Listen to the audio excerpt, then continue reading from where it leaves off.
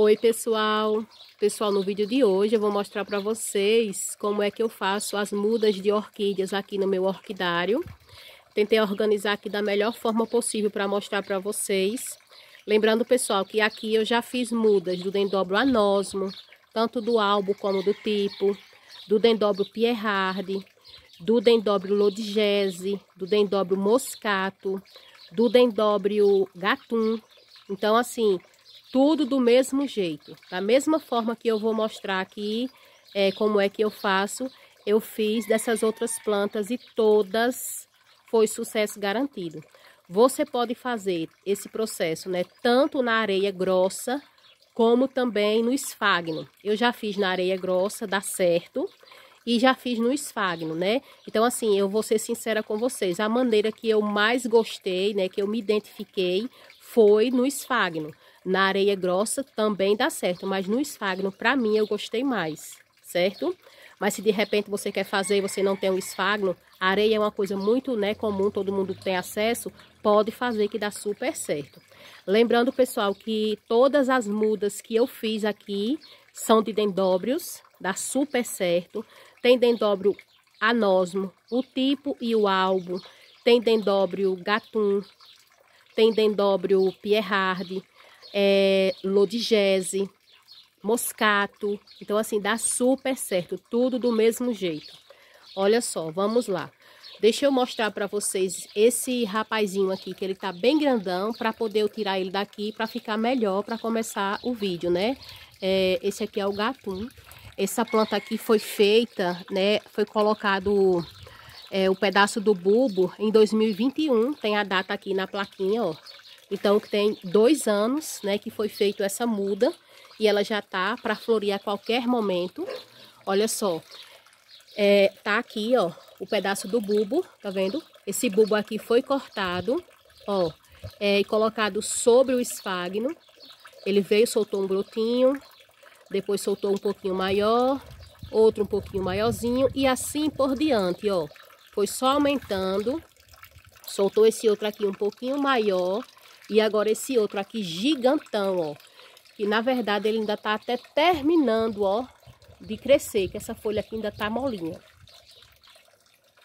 Tá vendo, ó?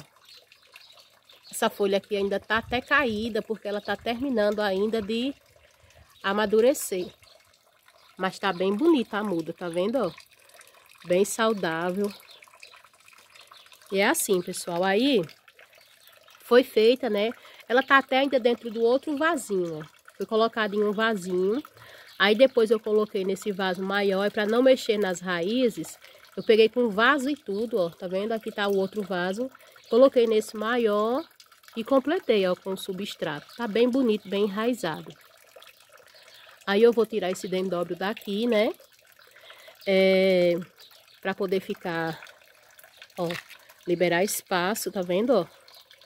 Para poder a gente é, colocar ele bem aqui no chão, para poder a gente continuar o vídeo. Aí, basicamente, o que é que você vai precisar, ó?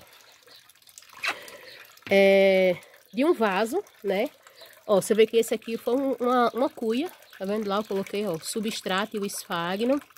Esse aqui já foi um cachepozinho, ó, tá vendo? De madeira.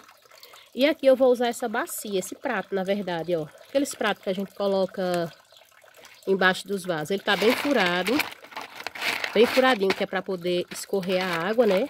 Tem que ter, né, a vazão para poder não, não encharcar tudo. Aí, ó, coloquei um pouco de substrato. E vem fazendo uma caminha agora, ó, com esfagno. Tá vendo? Não precisa ser muita coisa, não. Certo? Ah, se no caso você não tiver o esfagno, você for colocar areia, do mesmo jeito, coloca o substrato e depois forra, né, com a areia grossa. Isso aqui tem que sempre ficar úmido, que é para poder estimular, né? É, soltar as mudinhas, né? O, o, os cake que a gente fala, né? Pronto, ó, foi, colocou assim, ó, tá vendo? Nem é muito esfagno, é só a quantidade que você veja aqui, ó. Que forrou o fundo, né? Do local que você vai fazer. Agora, é, no caso eu vou fazer hoje desse dendróbio aqui, que é o dendróbio anosmo. Tá vendo que ele tem alguns bulbos que estão pelados, ou seja, sem folhas. esses bulbos aqui já floriram.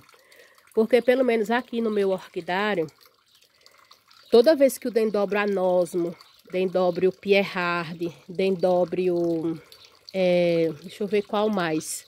Alguns dendobros eles costumam perder as folhas, perde as folhas, amarela as folhas é normal. E depois ele vai e emite, né, a sua floração. Depois que passa a floração, eles ficam assim, ó, pelado. Então aqui do dendobro anosmo, desses bulbos aqui que já floriu, não vai florir mais. Então, o que é que eu faço, ó? É, esses bulbos aqui que estão com folhas, é os que vai ser da próxima floração. Então, neles não mexe. Aí eu vou pegar aqui um alicate, ó, tá vendo? Limpo, esterilizado.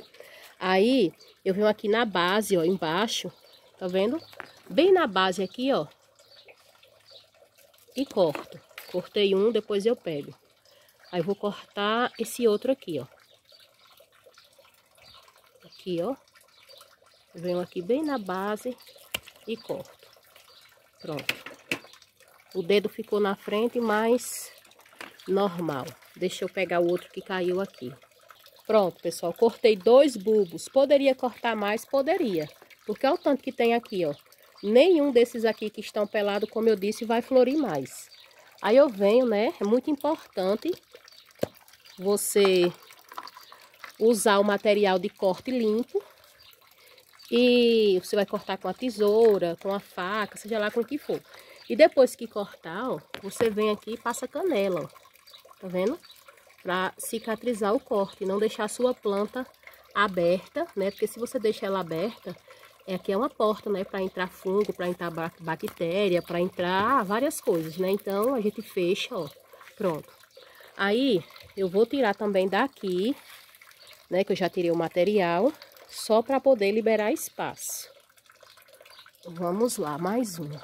Aí agora eu vou posicionar aqui o celular e vou mostrar para vocês.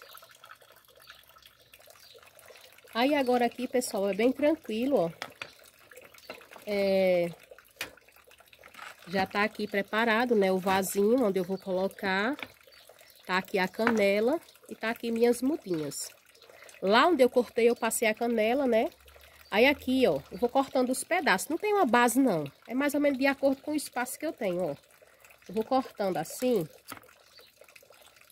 Cortando. Tudo aí, ó. Lembrando, pessoal, que não é tudo que vai brotar, não. Não adianta eu vir pra cá e dizer, ah, você vai fazer, você vai ter 100% de, de sucesso. Não. Alguns vai brotar, outros vai apodrecer e assim por diante, normal. Ó, como tudo na vida, como a gente, a gente faz algo, nem tudo dá certo, né? Algumas coisas dá certo, outras não. Aí aqui onde eu cortei, ó, tá vendo? Eu vou e passo na canela. Passo logo tudo assim de uma vez, ó. Pra não deixar aberto, né? Ó. Tá vendo? Canela. Aqui do mesmo jeito, ó canela. Pronto, todo mundo com canela. Agora é só isso, pessoal, ó.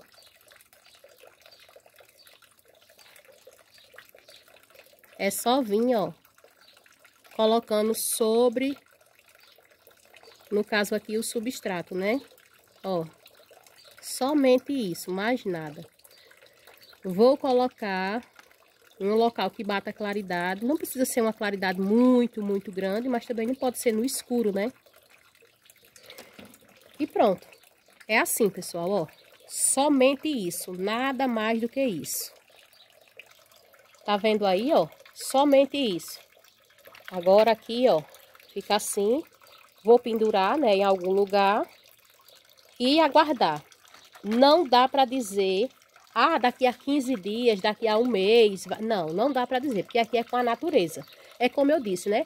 Tem deles que vai brotar, tem deles que não vai brotar. E assim, é, a gente faz a nossa parte que vai dar, né? Que vai sair mudinhas. Isso aí eu garanto a vocês. Agora não dá para prever em quanto tempo, né? Vai sair as mudinhas e nem a quantidade. Hum, isso aí não tem como. Nesse caso aqui, ó. Olha só a quantidade. Olha só o tanto. Nesse caso aqui eu tirei. Aqui eu cortei, tá vendo? Ó, os pedacinhos, né? Aqui eu tirei e, e fiz um arco, ó. Tá vendo? Fiz um arco Coloquei o substrato, o esfagno e acomodei, olha. Tá vendo? A quantidade de mudinhas que deu, olha. Aqui mesmo eu vou deixar. Se, se fosse o caso, dava para tirar, né? E replantar em outro local. Mas não, aqui mesmo fica. Tá vendo? Olha. Esse aqui eu não coloquei a plaquinha de... A data, né? De quando eu fiz, mas não tem muito tempo não. Esse aqui já tem mais tempo. Esse aqui, se eu não me engano, é Dendobro anosmo, eu acho que é o albo. Olha, aí agora esse aqui é do tipo, tá vendo? E esse aqui é do albo. Esse aqui, inclusive, já até floriu. Tá vendo essas, esses bulbos aqui? Eu já posso fazer o mesmo processo. Cortar aqui embaixo, ó, cortar aqui embaixo e deitar aqui, ó, sobre esse mesmo substrato para quê? Para entorcerar, para soltar mais mudinhas e aqui virar uma muda bem grande. Tá vendo? Aí é assim, ó, ele floriu nesses bulbos, aí já soltou essa brotação nova que é para a próxima floração. E assim por diante. Então, pessoal, é assim, né, que eu faço mudas é, de orquídeas. Olha aí. Eu espero muito que vocês tenham gostado. E é isso, pessoal. Até o próximo vídeo. É basicamente isso aí, né? É substrato, esfagno e os pedacinhos dos bulbos, ó. Tá vendo? Deitado. E é só aguardar, certo?